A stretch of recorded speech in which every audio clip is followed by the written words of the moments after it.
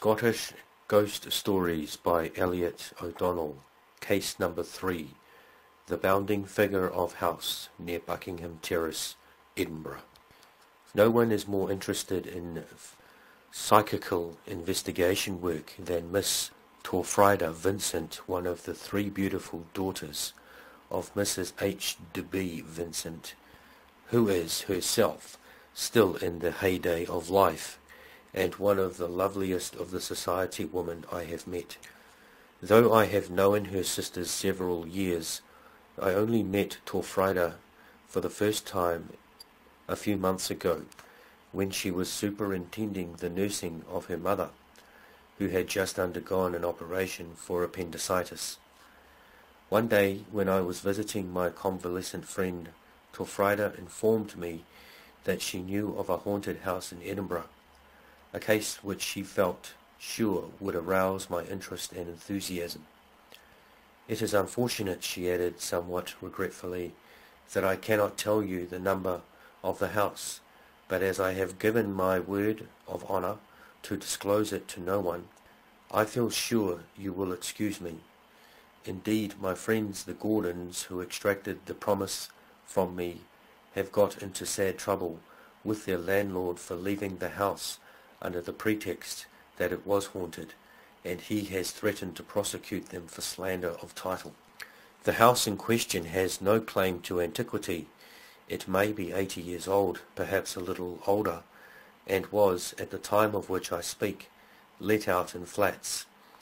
The Gordons occupied the second story, and one above them was untenanted, and used as a storage place for furniture. The first floor and ground floor were divided into chambers and offices. They had not been in their new quarters more than a week when Mrs. Gordon asked the night porter who it was that made such a noise racing up their stairs between two and three in the morning. It had awakened her every night, she told him, and she would be glad if the disturbance were discontinued. I am sorry, madam, but I cannot imagine who it can be, the man replied. Of course, it may be someone next door. Sounds are so often deceptive. No one inhabits the room above you. But Mrs. Gordon was not at all convinced, and made up her mind to complain to the landlord should it occur again. That night nothing happened, but the night after she was roused from her sleep at two o'clock by a feeling that something dreadful some dire catastrophe was about to take place. The house was very still, and beyond the far-away echoes of a policeman's patrol on the hard pavement outside, nothing, absolutely nothing broke the universal and as it seemed to her unnatural silence. Generally at night time there are sounds one likes to assure oneself are too trivial to be heard during the day the creaking of boards, stairs, nearly always stairs, and the tapping of some leaf, of course some leaf, at the windows. Who has not heard such sounds, and who in his heart of hearts has not been only too well aware that they are nocturnal, exclusively nocturnal. The shadows of evening bring with them visitors, prying, curious visitors, grim and ghastly visitors, grey, esoteric visitors, visitors from a world seemingly inconsequent, wholly incomprehensible. Mrs. Gordon did not believe in ghosts. She scoffed at the idea of ghosts, and, like so many would-be wits, unreasonably brave by day and the reverse by night, had hitherto attributed banshees and the like to cats and other animals. But now, now when all was dark, pitch dark and hushed, and she, for aught she knew to the contrary, the only one in that great rambling building awake, she reviewed again and again in her mind that rushing up the stairs. The wind, it could not have been the wind. The wind shuts doors and rattles windows and moans and sighs and howls and screeches, but it does not walk the house in boots, neither do rats, and if she had imagined the noises, why did she not imagine other things? Why, for example, did she not see tables dance, and tea-urns walk. All that would be fancy, unblushing, genuine fancy. And if she conjured up one absurdity, why not another? That was a conundrum for any skeptic.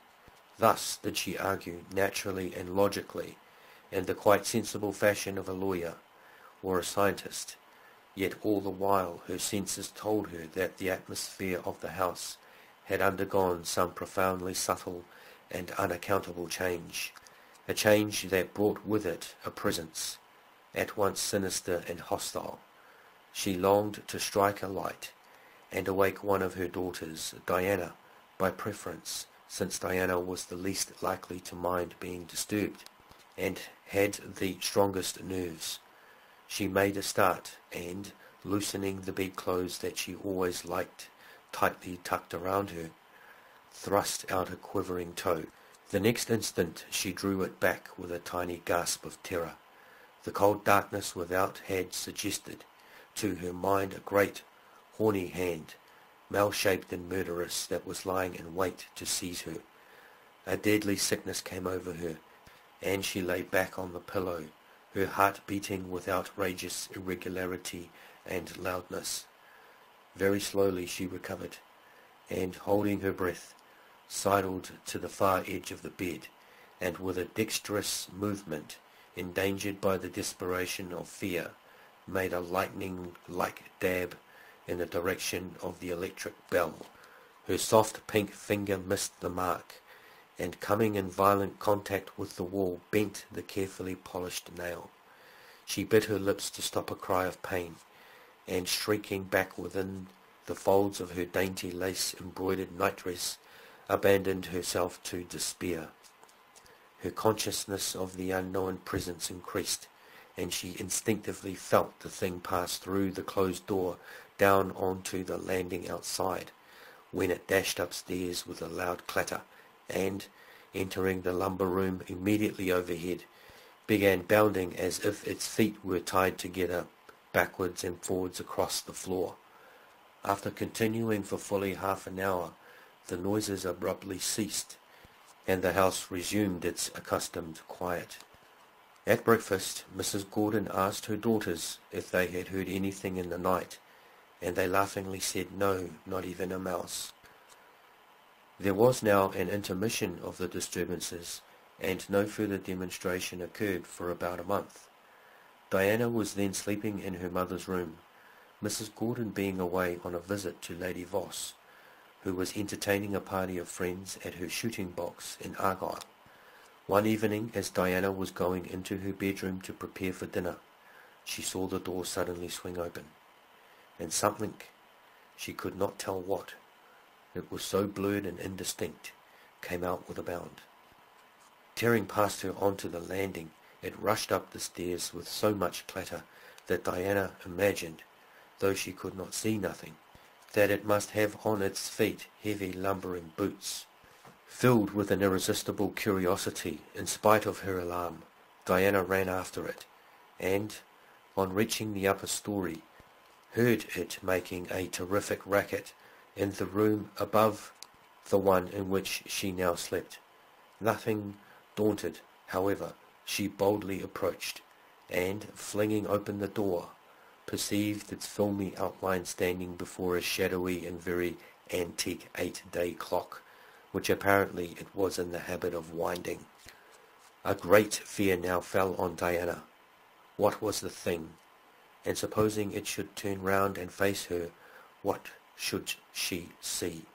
She was entirely isolated from her sisters and the servants, alone, the light fading, in a big gloomy room full of strange old furniture, which suggested hiding places for all sorts of grim possibilities. She was now assured that the thing she had followed was nothing human, neither was it a delusion, for when she shut her eyes and opened them it was still there, and, oddly enough, it was now more distinct than it was when she had seen it downstairs. A curious feeling of helplessness stole over Diana. The power of speech forsook her, and her limbs grew rigid. She was so fearful too, of attracting the notice of the mysterious thing, that she hardly dare breathe, and each pulsation of her heart sent cold chills of apprehension down her spine. Once she endured agonies through a mad desire to sneeze, and once her lips opened to scream as something suspiciously like the antenna of a huge beetle and, and which she subsequently discovered was a devil's coach horse tickled the calf of her leg. She fancied, too, that all sorts of queer shapes lurked in the passage behind her, and that innumerable unseen eyes were malignantly rejoicing in her terror. At last the climax to her suspense seemed at hand. The unknown thing, until now too busy with the clock to take heed of her, paused for a moment or so, as if undecided what to do next, and then slowly began to, to veer round. But the faint echo of a voice below calling her by name broke the hypnotic spell that bound Diana to the floor, and with a frantic spring she cleared the threshold of the room. She then tore madly downstairs, never halting till she reached the dining room, where she sank on a sofa, and, more dead than alive, panted out to her amazed sisters a full account of all that had transpired. That night she shared her sister's bedroom, but neither she nor her sister slept.